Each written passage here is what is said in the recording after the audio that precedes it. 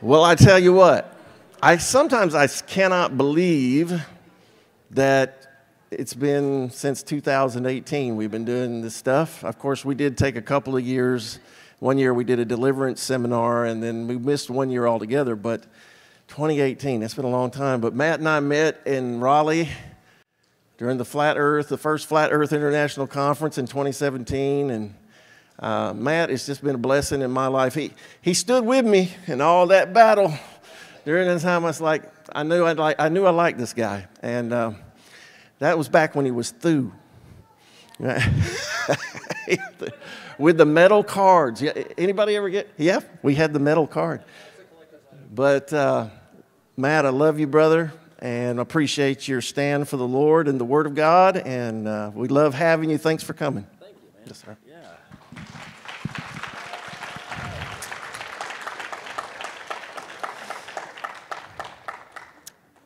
Well, through him, all things were made. Through who, I wonder? Well, according to John 1, Hebrews 1, and Colossians 1, Jesus is the maker of all things, including that right there. And according to Romans 1, we can get to know the Creator through the creation. So, if that's the case, if we can get to know the Creator through the creation, should we not study and appreciate what that creation is according to Scripture? And when Scripture and science diverge, should we embrace science and reject the Bible? Or should we embrace the Bible and reject science? Because you'll say, well, Matt, the Bible's not a science book, and that's true, and it's actually a good thing because Science books were written by men attempting to describe the things of God while at the same time removing God from the equation. And the Bible doesn't function on such illogic. The Bible has never issued a second, third, or fourth edition because the Bible is ultimate truth, and ultimate truth cannot change. It doesn't bend, it doesn't flex based on scientific trends or theories of the day. Right? So, I guess I want to thank Dean and Nancy for having me back. Okay, this is uh, one of the only streaks I still have alive in my life as I get older is that I've spoken at every single Skyfall. And honestly, I have I have two goals in my life for the remainder of my life. One is I live in a neighborhood with no they have no shoulders on the road, so the mailboxes like jump out at you as you're driving. And so I, I want to never hit a mailbox before I go to the grave, and I never want to be the subject of a Dean Odle sermon. That is my goal. So far, so good. Now, um, I like telling jokes uh, to get started, kind of loosen me up, but I thought this time I would just show you guys a joke real quick. Right there. Thanks.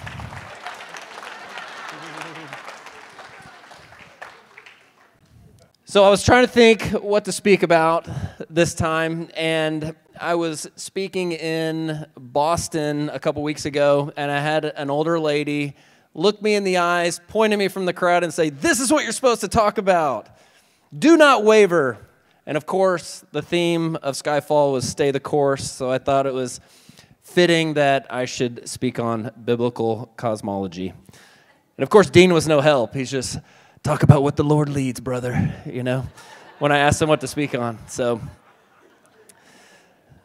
so yeah, I just waited for the Lord to speak, and, and here we are at Biblical Cosmology. So, I obviously I have a book on the subject. It's called The House That Jesus Built, and that is about the biblical shape of the earth, an intelligent alternative design. If you guys have read my first version of that book, it's a lot of the same stuff is in here.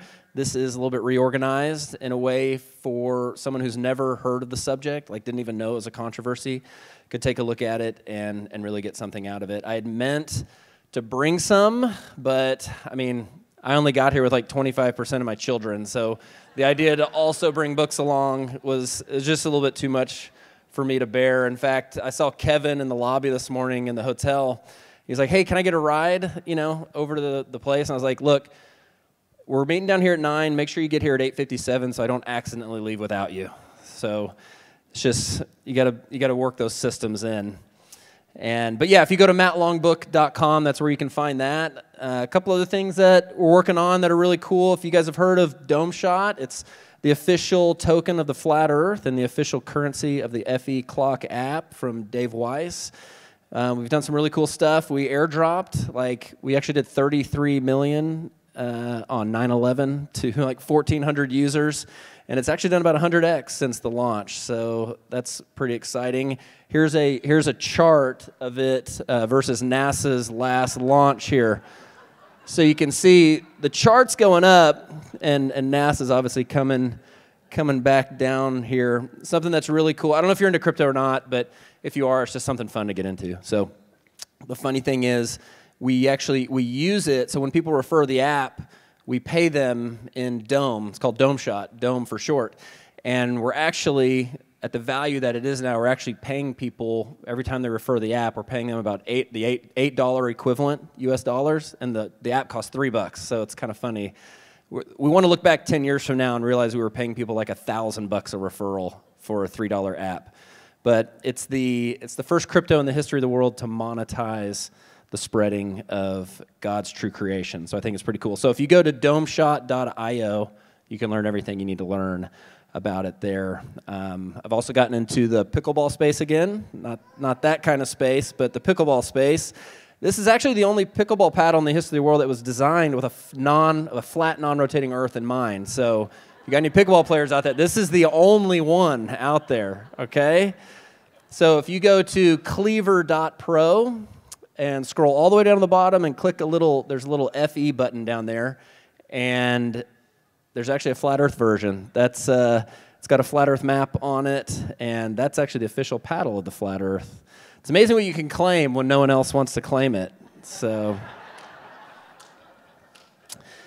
but I also do like real estate development is my official like line of business. And if you go to sixture.com with an S, you can see all these things that I do. And if there any synergies there, like anyone wants to, you know, do some business, I'd much rather do with a Christian flat earther, uh, of course. So you guys just let me know. So, what is biblical cosmology or intelligent alternative design? Well, we've already kind of ripped the band aid off, right? It's this topic of flat Earth. That right there, that is an official NASA photo of what flat earthers believe, right there, if you guys can believe that. Actually, that's a drawing from Robert Paint Tank Moore right there. It's from, it's from my book. Robert did the illustrations for me. But obviously, yes, nobody, nobody believes this. An actual flat earther or someone who believes in biblical cosmology does not believe this. In fact, we don't believe in a solar system at all, right? We believe in what's called an earth system, something a little bit more like this. So if you were to take the globe and squash it, basically stick your finger on the North Pole, squash it down to where the North Pole is now the center of our creation. Antarctica is no longer a continent at the bottom of the globe, but rather a continental ice shelf that holds the waters in and supports the dome above. So to us, this is all there is. This is the Earth system. And, and and so the sun, moon, and stars are not distant planets and galaxies far, far away. They're actually smaller, closer, and also located inside our system. I believe that this version is the only version that can fulfill all 200 plus verses in the Bible that speak of the, the Hebrew cosmology, what the Hebrews believed. So, what I want to establish first is why this is important so that the Baptists don't uh, come after me, you know, um, for no reason here. But as Christians, I think we need to respect the fact that different things lead different people to Christ. For me, when, and I usually say, like, the only thing worse than Christians when trying to spread flat earth is pastors, right? Um, because they, they actually they get in the way quite a bit of this movement that I believe is bringing people to Christ. And, and like I mentioned, different things bring different people to Christ. For me, when I was in my 20s, someone coming up to me and saying, Hey man, Jesus loves you, would not have done anything for me. In fact, I'm sure it happened. And, but to me, like, Jesus wasn't real. Like, I, I had to come at it from a different viewpoint. And embarrassingly, I just needed a little bit more like, I don't want to say, proof, but, but I did need to know that there, the Bible was something that you could believe without being an idiot. That's literally what I thought. I was like, oh, you believe the Bible? Oh, well, you like need a mental crutch. That's what I thought. And after reading the case for Christ and studying many other things, I found out like, oh, like if you know this stuff, you actually can't be a wise person and not believe the Bible, is, is what I came to. Because my university level physics, astronomy, and geology classes all told me how this place got here without the help of an all loving, all powerful creator. And I also didn't realize that there was a difference between evidence and worldview. Okay, evidence is numbers, readings, measurements. It's, it's unbiased information from which we can speculate and draw conclusions. And a worldview is an interpretation of that evidence. And, and everything you hear from a college professor or see on the Discovery Channel is something that is an interpretation of evidence. A lot of people think they're listening to unbiasedness when they're, when they're watching those shows, but actually they're, they're listening to something that has a very purposeful worldview. And that worldview, it's the scientific worldview. And like I said, it's the worldview that nothing exploded, created everything without the help of an all loving, all powerful creator. I want to see if the volume works here. So if that's how if that's how you want to invoke your evidence for God, then God is an ever receding pocket of scientific ignorance that's getting smaller and smaller and smaller as time moves on. So he's obviously not one of the 70 that we talked about earlier, right? But that is the worldview right there. The amazing thing is that every atom in your body came from a star that exploded. And the atoms in your left hand probably came from a different star than your right hand. It really is the most poetic thing I know about physics. You are all stardust. You couldn't be here if stars hadn't exploded because the elements, the carbon, nitrogen, oxygen, iron, all the things that matter for evolution, weren't created at the beginning of time. They're created in the nuclear furnaces of stars, and the only way they can get into your body is if the stars were kind enough to explode. So forget Jesus. The stars died so that you could be here today. Yeah, really funny, huh? So when the two disagree, which mindset are we going to embrace? Which worldview are we going to embrace? Are we going to embrace the worldview that's openly anti God? Because that's the one that writes all the textbooks. That's the one in universities. That's the one in museums. That's the one on the Discovery Channel.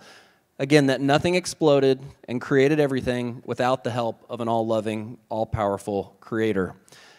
I just don't know why we're so anxious to embrace such a worldview.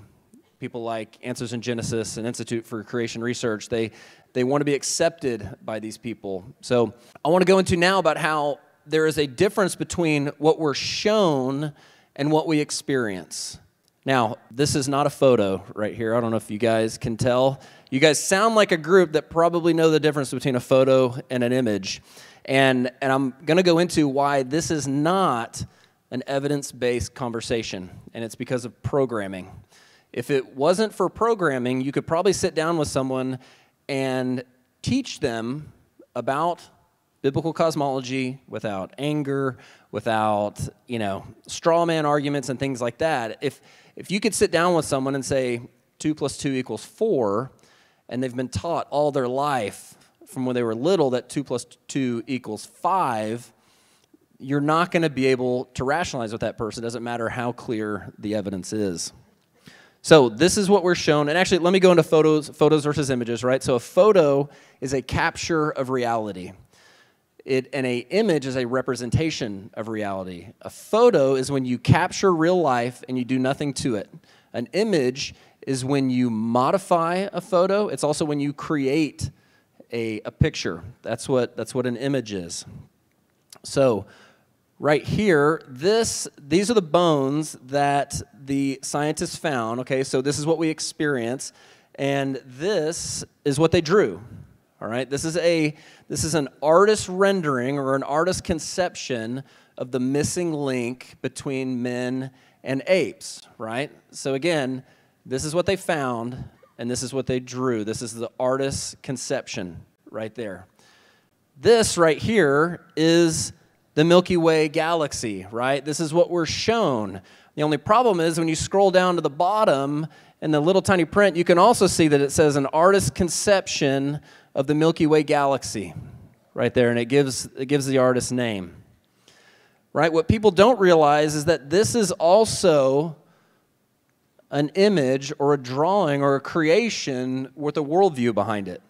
Here's what we're shown we're shown that the sun travels through the galaxy at 450,000 miles an hour and that the planets revolve around that sun. The earth supposedly goes at, you know, 66,000 miles an hour. The earth is also spinning at 1,000 miles an hour and the universe is supposedly expanding at over a million miles an hour. But what we experience is a flat, non rotating Earth. And this is Michelson and Morley, the experiment in the late 1800s that proved through the use of optics by bouncing light around right angles in different directions that the Earth is not spinning 1,000 miles an hour at the equator.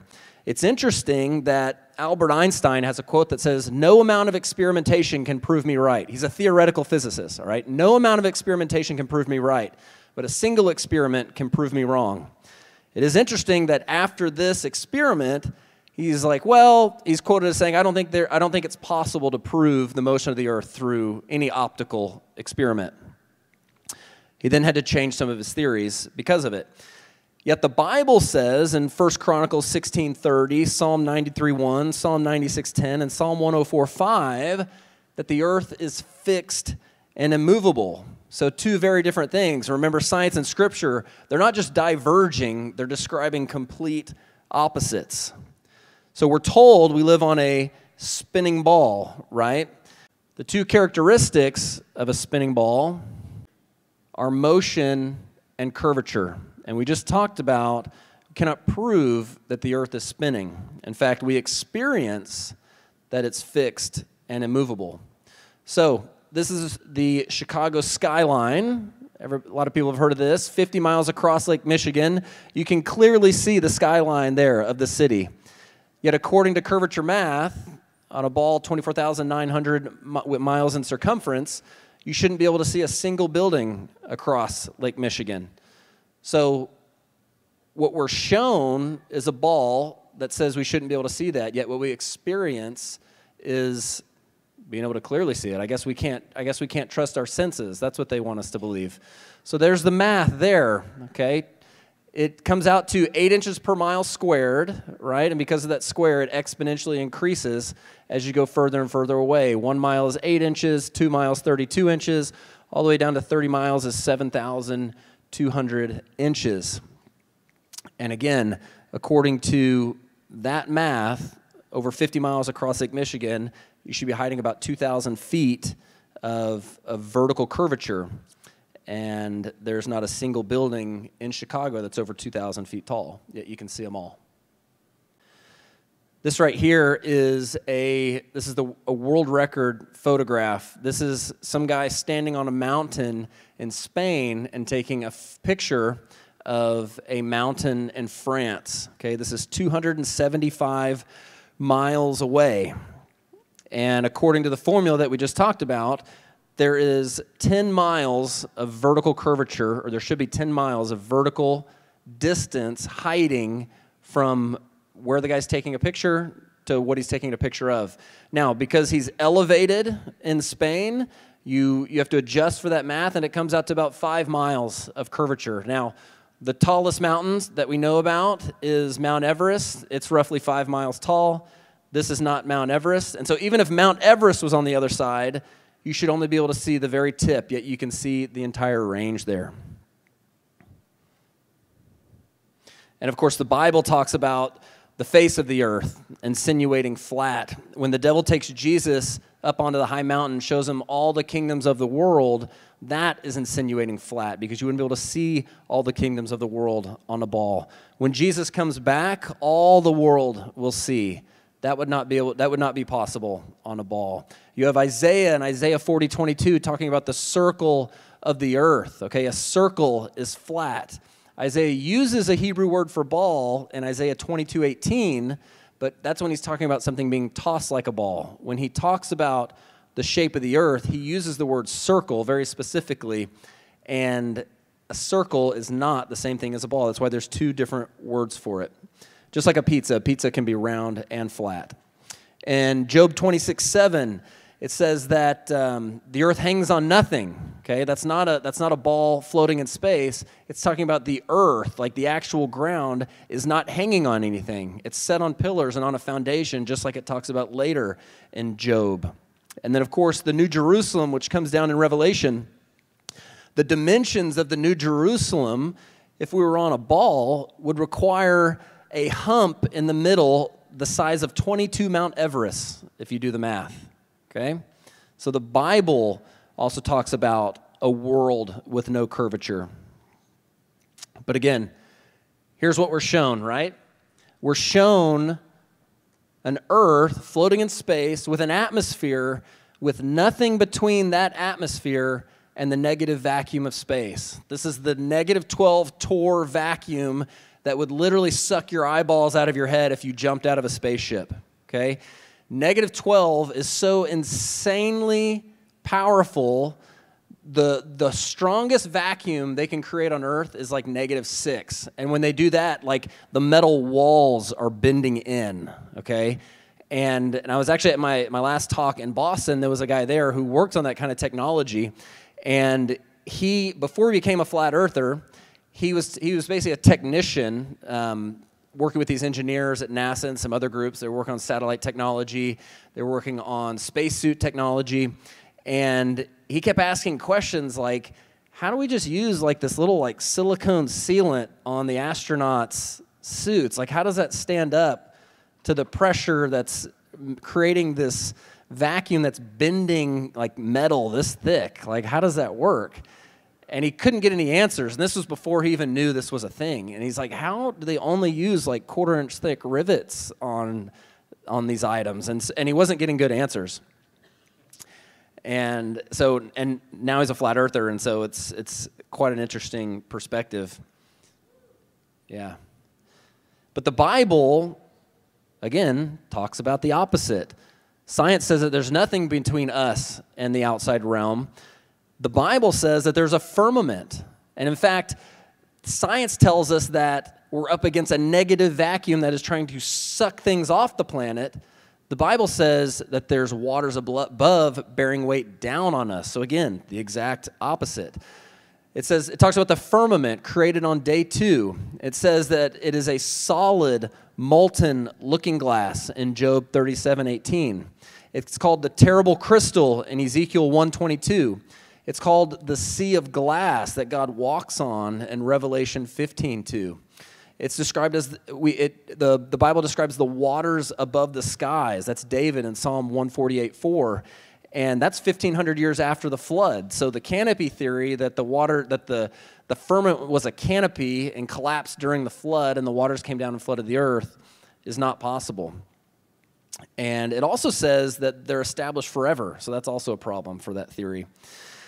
And Psalm 19:1, if we just want to talk logic for a second, Psalm 19:1 says that the firmament shows God's handiwork, which is interesting because if I was a craftsman and let's say we had an issue with those doors back there and they called Matt and they said, "Matt, we need you to replace those doors. And I said, sure, no problem. So I come in, I replace the doors, they function properly, and now I'm up on stage and I want to show you guys, like, hey guys, I'm a pretty awesome craftsman. And so I go and I open the doors and I show you like the empty space between, because a lot of Bible translations now call it a great expanse, and that this great expanse somehow shows God's handiwork, this great expanse of empty space. So if I were to open those doors and be like, look, look at all this, that's not a display of my craftsmanship. A display of my craftsmanship would be to go knock, look how solid these doors are, right, that I built. Like they're not going anywhere. And so the firmament, according to Psalm 19:1, showing God's handiwork, has got to be something solid, just from a logical perspective. Something else that's the opposite, right? We're told that the moon reflects the light of the sun, okay?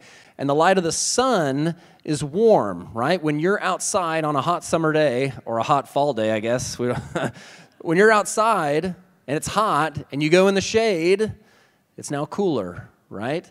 But at night, when you're out in the moonlight and you're cold, excuse me, if you were hot, excuse me, if you were cold, you go in the shade, it's now warmer. The moonlight is actually the opposite of sunlight. The moonlight is cold and it's measurably cold. There's been a bunch of people, including myself, that can take a thermometer and take a shot of the grass, for example, that's in the moonlight and the grass that's in the shade. And the light that's in the shade is actually warmer than the light, or yeah, than the light that's in the sun. It's hard to think in opposites here. Um, that's why I can't be a glober because I got to think in opposites. And what did Jesus say? In Matthew 24, 29, Jesus said that there'll be a day that will come and the moon will cease to give her light. So there's two clues. One, he says the moon gives its own light, but he also calls it a she. And in that culture, it was just, it was thought of that the sun was a he and the moon was a she, insinuating the opposite. And obviously, it's clearly a light bulb. Like, uh, like my five, like when my daughter was five, I asked her, I showed her a picture of the astronauts walking on the dull gray dust ball, and I showed her a picture of that, and I was like, Do you think those are the two are the same things? And she's like, No. And I said, Right, so this is obviously like a light. She's like, Yeah. And then she goes, So where are those guys standing? I was like, Well, I don't know. Not sure. Right. We're also told that the sun is a flaming fireball 93 million miles away. We're told that seasons are caused by the tilt of the earth, right? That 23.4 degree tilt, that when taken out of 90 degrees is 66.6. Yeah, we're told that because of our tilt, that's what creates the seasons, not whether you're closer or further away. I know when I'm next to a campfire, my tilt doesn't really matter. It does matter if I go over here, it definitely cools off, right? I guess I, I would have to, like, if I lean back in my chair, maybe it wouldn't be as hot. But again, we're talking about logic, right? Which doesn't necessarily come into play in some of these conversations. It's why you can't have a logical conversation with somebody about it because it's programming. So, it's interesting that in the flat earth model, well, in the globe model, it actually says that the sun is further away in our winter than in our summer and that it's that tilt which is what causes the seasons. And I would say I don't think that's the case. And in the flat earth model, the sun is actually closer during our summer. And we can talk about that. Here's some more on the actual shadows. This is talking about Eratosthenes. To see if Earth's surface is curved, we needed another well. Turns out we can't see the bottom of both wells at the same time. What might explain this? Well, there are two possible explanations. First, we could have a flat Earth with the sun that's small and close by so that the light hits the second well at an angle. Or second, we could have a curved Earth with a sun that's big and far away so that all the light comes in parallel, but only one well at a time is lit all the way to the bottom. Turns out with just two wells, there's enough wiggle room for both explanations to fit our observations. Eratosthenes only had two wells. So it's interesting that people use that as an example of they knew the earth was you know a ball thousands of years ago because, because of eratosthenes that actually, that's actually not the case you'll find that in so many of these arguments the people are assuming that flat earthers also believe in a sun that's 93 million miles away which we don't so in this case this is not shadows do not prove that we live on the ball in fact um, if, if you can make the case that it does, you could also make the case that it proves that we live on a flat Earth with a smaller local sun. Um, something similar to this, maybe. I don't know if anyone's ever seen anything like this. That is what we experience. Like if you just connect all those rays, where is that pointing?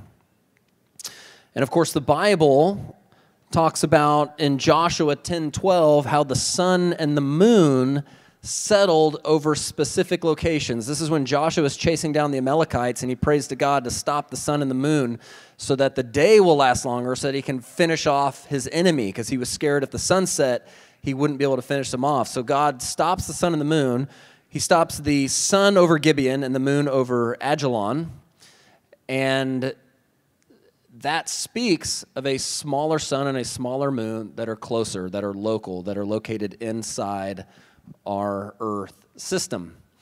When I first got into this idea of flat Earth, this crazy idea of flat Earth, I did a couple of my own tests. And this is a test that I did where I thought to myself, if the Earth is 93 million miles away, it should be roughly the same size at noon and at 6 p.m. on a winter day, because we're just talking about a quarter of a turn of the Earth. But if we're on a flat Earth where the sun is traveling above our head, then there should be a significant difference between 12 and 6 p.m. Now, this is on a winter day, so 6 p.m. is pretty close to sunset. It's also very cold, so there's minimal atmospheric magnification. There's still going to be some, but it's less. And so I took two pictures at noon and I took two pictures at 6 p.m. And I was kind of shocked when I pulled it up and put the two lines on there and saw that, yeah, there was about a 35% reduction in the size of the sun between noon and 6 p.m. Now, it was probably greater because there probably was some atmospheric magnification because as the sun gets lower in the sky, you're looking through more and more water molecules. But in fact, that, that's exactly what I think we'd experience if we lived on a flat, non rotating Earth with the sun smaller and located inside our system. But again, like in every single one of these instances, science and the Bible are describing two very different things. And it's only the Bible that sides with our experience in every single one of these things. And it's, it's, it's why you can't have an evidence based conversation because if, if we live on a flat, non rotating earth and we experience a flat, non rotating earth, and um, experimentation proves a flat, non rotating Earth, why, why do I have to get up in front of people and explain to them why I believe the Earth is flat and motionless? It'd be a much more interesting conversation for someone to come up here and explain to me why they believe on a they live on a globe, because I'm just saying, well, like, I've never seen the curvature, I've never felt the motion. You've never seen the curvature, you've never felt the motion yeah, why am I up here talking about why I believe the earth is flat and motionless? Especially when the Bible describes that as well. So, but I think you guys know why there's an actual conversation, and it's because of these guys. NASA, the Christian organization founded to further God's kingdom, right? No, it, they were formed by Nazis, Freemasons, and magicians. And if you're interested in some of that info, look up Operation Paperclip. Check out Jack Parsons, L. Ron Hubbard, and then all of the early astronauts, the you know the ceremonial lodge that they they put on the moon, the Freemasonic Lodge. Some crazy similarities uh, between the word NASA. Obviously, NASA is an acronym, but these people love to use acronyms that mean things.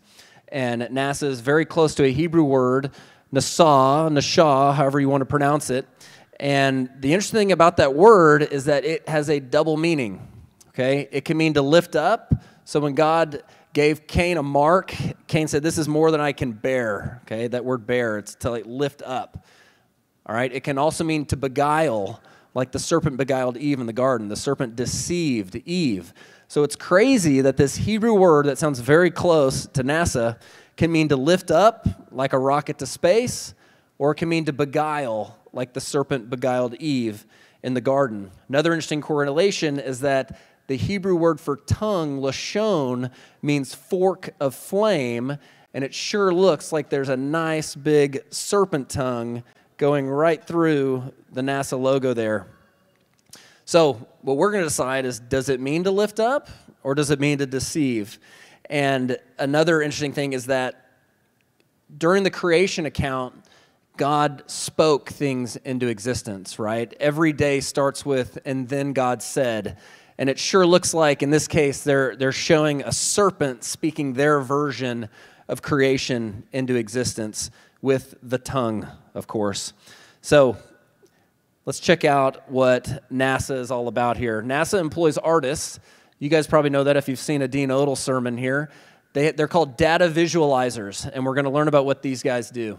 Was something NASA latched onto early on. For over 50 years, NASA worked closely with artists and creative leaders like Walt Disney and Norman Rockwell to help shape the stories of spaceflight. It's the same legacy today, just with more advanced scientific understanding and better tools to imagine what far off worlds might look like if we could visit them. we want to take a lot of care to make sure we don't oversell the part of the story that isn't actually the story. There are people who just look and think, oh, NASA's photographed a planet, and they don't understand that actually that was a piece of art.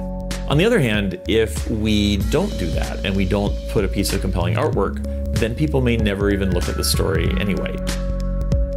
We're putting as much science as we can of where we know today. And I like to think that in 50 years, when people come back and look at, say, the various pictures of exoplanets after maybe we actually finally know what they look like, they might wink and smile to each other like, oh, that's so funny. They thought there was water on that one.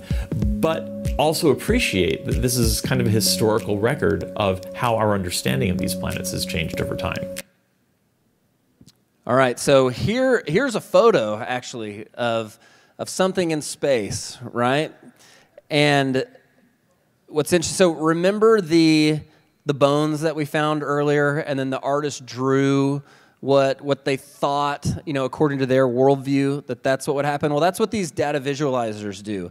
They receive information in charts or graphs or fuzzy little photos like this, and they draw. Like this is Pluto right here. And I didn't want to ruin it, but this is Pluto, and this is what they drew. This is the first image of Pluto that they created. Now, when we were talking, or when they were playing the video, they said that NASA partnered with artists like Norman Rockwell, and there was another one they mentioned Walt Disney. So, how cool is it that the planet Pluto just happens to have a shape on it that looks like Pluto the dog? Pretty crazy there. And of course, Disney is another great group, right? Yeah, awesome. Remember the 66.6 degree tilt of the Earth? Well, of course, Walt Disney has three sixes in his logo. And it also has a firmament on there with a tower whose top would reach into heaven, which is quite interesting as well. Can you guys tell what it says in the reflection there? Wicked. Yeah. Wonder why they, they wrote Mickey like that. Sure, it was a mistake.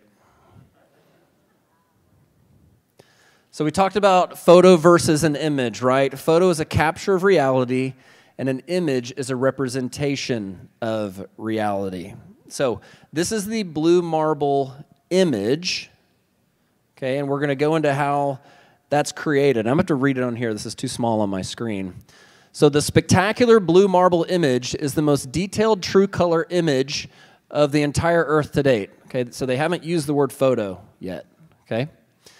Using a collection of satellite based observations, scientists and visualizers stitched together months of observations of the land surface, oceans, sea ice, and clouds into a seamless, true color mosaic of every square kilometer of the earth, basically. So they admit this is, and this is, I put the website up here. This is nasa.gov, right? So this is not some crazy website I found it on. You've got this is Robert Simon. He's known as like the father of the blue marble. He's the guy that helped create this image in 2002. And it says, he's talking about his job here at NASA. He says, My role is to make imagery from Earth sciences data. I turn data into pictures. Okay? So he's not enhancing photos, he's enhancing data with a worldview behind it, remember. This is what they did. So, this is a big description, but at the end of the description of what they did, the, the scientific process of how they got to the blue marble image, he says, Then we wrapped the flat map around a ball. My part was integrating the surface clouds and oceans to match people's expectations of how Earth looks like from space. So, where do we get our expectations of how Earth looks like from space? Universal Studios, like, where, if we don't have photos of what Earth looks like from space, how, how do we match expectations? Well, they've fed us those expectations, and now they're matching them. So here's the first time they use the word photo, okay? Because here's Earth, and it says this is a detailed photo like view of Earth. Yeah, photo like. And then we're going to go into some other stuff here. Let's just, let's just watch this, all right, with our, with our current abilities in Hollywood and think if we still think this is real right here. Here's Okay, I'm going to get the pro. 99, proceeded, 3, 2, 1, ignition. Right away, Houston. Vector good. I, I do feel bad for the guy they left behind who's filming this. It was Bruce Good Willis. So this is um a guy who downloaded this photo from NASA.gov and is now changing the exposures on it so that you can see that there's actually a box around Earth that they cropped into this moon photo here. And again, this is supposedly a photo from NASA. You can see that, yeah, Earth was just cropped in there over and over again, all these things when you do the exposure. Yeah. You guys know this guy. I think he's on the spectrum, but I'd go to the moon in a nanosecond. Uh, the problem is we don't have the technology to do that anymore. We used to, but we uh, destroyed that technology, and uh, it's a painful process to build it back again. yeah, so someone had asked him why we don't go to the moon, and he's basically saying, well, we destroyed it, along with the telemetry data, right? That's all missing as well. Here- Here's Neil deGrasse talk, Tyson talking about the Red Bull space jump and how it, he, it looks like he's jumping from the edge of space, but he's actually not. So if the Earth were actually this, uh, this size, uh, the International Space Station would be orbiting about a half an inch above the surface. And that dude who jumped out of a perfectly good balloon, um, what's his name? Felix! Felix Baumgartner, uh, he would have been about two millimeters above the surface of this globe. That's his edge of space jump.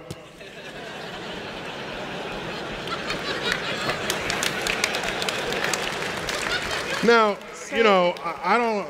It's fine. He wants to. I don't have a problem if he does it, but the the honesty of it would greatly diminish what I think people thought he was actually doing. And not only that, they made sure to photograph him standing there with a really wide-angle lens, which curves horizontal lines. So in the photo, you see this curvature of Earth's surface, and he said, "Wow, he's in space. Look at that." No, he's not.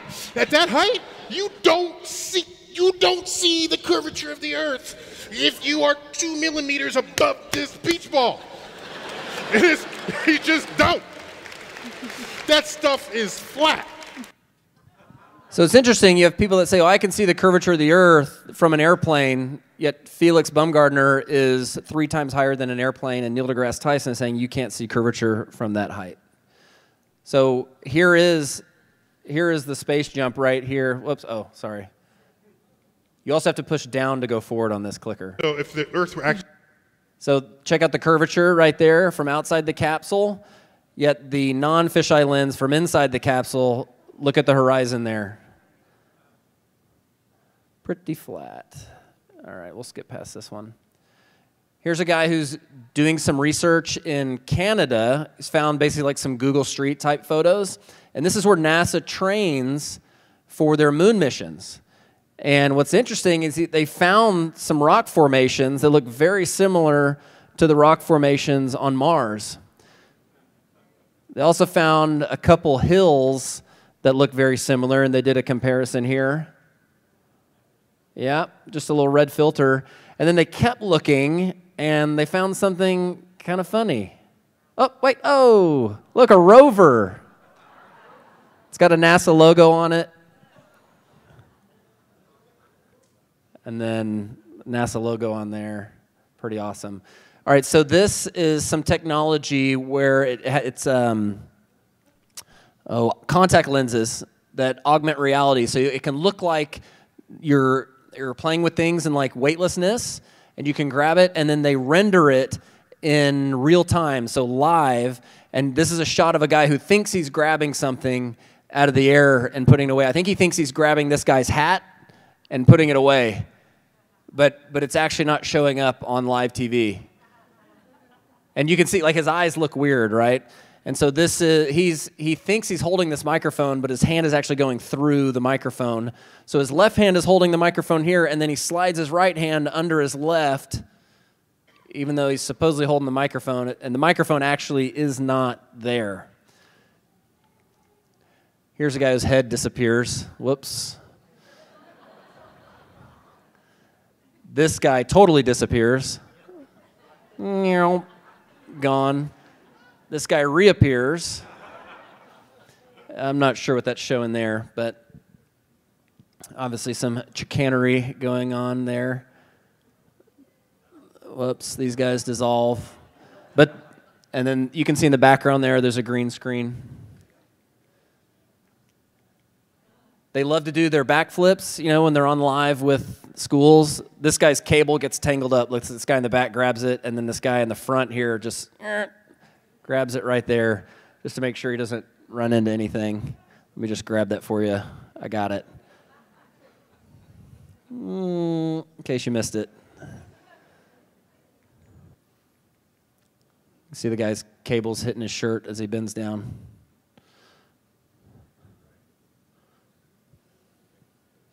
And then, oh, they had a guy in the background there. Doesn't matter, we'll miss it. All right, so this one, there's a guy actually in the background here. This is a model. See, is it playing? Yeah, there we go. See the guy right in the back behind it? They're pretending that they're launching a satellite here, and this guy realizes he's in the live shot. And then he, go, he goes away. See, look, he's like, oh, wait, oh. And then he's out of there. All right. Whoops. Here's a buddy of mine, Justin Harvey, in front of his city council saying that they need to look into NASA. This is the county in which NASA launches from. And this is him describing how some of the Apollo astronauts are still alive. Or, excuse me, not Apollo, but um, Challenger. Yeah. I think we all remember the Challenger explosion that took place in 1986. It tragically took the lives of all seven astronauts on board. It launched not too far from where we're standing here today. Well, the interesting thing is, a couple decades later, this thing called the Internet came about, and someone allegedly found almost all of those astronauts alive and well, many using the same exact names. As you can see here, we have Challenger astronaut Judith Resnik and also a Judith Resnik Yale law professor. Michael J. Smith, the pilot of the Challenger astronaut, and also professor at University of Wisconsin, now retired Michael J. Smith. Commander Dick Scobie, who is now president of Cows and Trees. Now, if you'll notice, they all have the exact same faces 30 some odd years later, the same exact name, and they are the same age. And there's been people that have done even further studies into all the members, but he did just those three because they were the most obvious. So if, if NASA is doing all these things that are obviously untrue, isn't it, isn't it likely that they're hiding something? Isn't it likely that they're covering something up? Because if they weren't, I don't, I don't know that we'd see any of this stuff. And so my question is can truth change? And I would say the answer is no, because truth is truth. Does science change? Science does change. So can science be truth? No, it can't. The two, the two are opposites, in fact, which is why we see the Bible and science teaching the opposite thing over and over again. So, has the Bible changed? No, the Bible has not changed. And if you're watching this like months from now, go back and watch Dean Odle's video on the history, or part one, of the history of the Bible. The Bible has not changed. So, can the Bible be truth? I would say yes, it can. So, I believe that this setup right here, we're looking at a cross section on the left of the Hebrew concept of the world, and we're looking at a sky view, a bird's eye view of the earth down. I believe this is the only, the only model here that can fit all the verses in the Bible. Okay, it's the only one that can fit the 200 plus descriptions of Hebrew cosmology. It's the only one that can fill, fulfill the 70 times that it talks about the sun, moon, and stars as traveling. And it can fulfill it talking about how the earth is fixed and immovable. It can talk about the four corners of the earth, and it can talk about the ends of the earth. The story of Joshua that we mentioned, where the sun and the moon stopped in their tracks, the dimensions of the New Jerusalem, the firmament and the waters above, the northern lights in Revelation 4 3, where John goes into heaven, he sees the throne, he sees the emerald rainbow around the throne of God. Well, the Bible talks about God residing in the sides of the north, Okay? So the northern lights, in my opinion, the real ones, the northern lights are the emerald rainbow around the throne of God. Noah's flood, okay? Noah's flood. If you look at this picture on the left, let's picture the firmament like a bowl, an upside down bowl that you lower into a bathtub, okay? Like when you were little. And what happens? You trap the air inside the bowl, right? And if you go like that, the air pops up, right? So God lowers the firmament into the waters, okay? He traps the air in there. And then during the flood, it says that he opens the windows of heaven. All right? Well, if you have a bowl in water and you open a window or you poke a hole in the top, what happens? Water doesn't necessarily come in, okay? But air comes out. So the waters below start to rise. The fountains of the deep burst forth. Why did they burst forth? Because God opened the windows of heaven. He's letting pressure out of the system. So the waters are rising up. It's that air pressure that's holding them down. And the crazy, and so that's in Genesis 7. Well, in Genesis 8, how does he get the waters to subside? Well, I believe he blows air back into the system because the Bible talks about an, a wind that goes over the whole earth at the same time that God closes the windows of heaven and the, and the floodwaters subside. So I think that's a really cool correlation because I think it's exactly how the flood happened. And again, that's not possible on a spinning ball flying through space. So, in closing, I, I think with all of this information, okay, we have, we have a responsibility not to cast lies further into the next generation. All right, there's a quote from Max Planck. It says that a scientific truth does not triumph by convincing its opponents and making them see the light. It triumphs by a new generation growing up that's familiar with it, right? And that sounds like kind of a scary, tragic statement, but it could also be encouraging for us, right? Because step one is to have more babies, right? So, right, my wife and I joke that you can't convince everyone, so you might as well burst some new ones. So, not only do we feel like we're doing our part by like spreading this word across the world, but also having more children that grow up never doubting the biblical model. Bo, the little guy who you see running around here, since he's been two years old, he yells fake, fake, fake at the Universal Studios logo when it comes on the deal. And I've never taught him that. I think he just heard some of his siblings saying that. And so he and Winslet, his sister who's right above him, um, they've always done that. And again, it's not something that we taught, it was just a culture that we created. So, Jesus is the builder. We always we already talked about that. John 1, Hebrews 1, Colossians 1. Not only did he make the earth, he made the ages, he made everything. He'll build this family here. I've actually met my wife at a flat earth conference if you guys didn't know that. And and the rest was history. We got married 4 months later we had a pretty good uh, pastor marry us. Uh, he's sitting in the front row down there. And yeah, so what I, what I want to leave you guys with is the fact that everything that God creates points to Him. Okay? The creation points to the Creator, not away from Him. And I think the biblical model, like, literally points to God.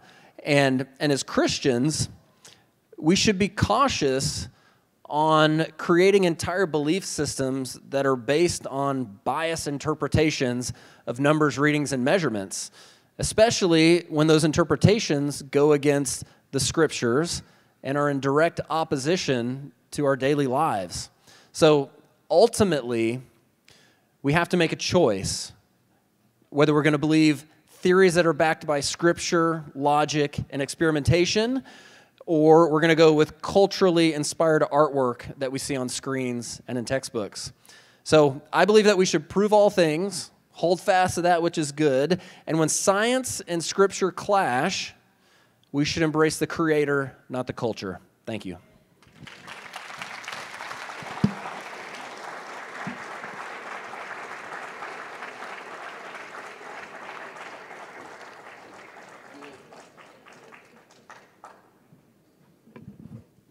Amen. Amen. Give him another round of applause. He deserves it.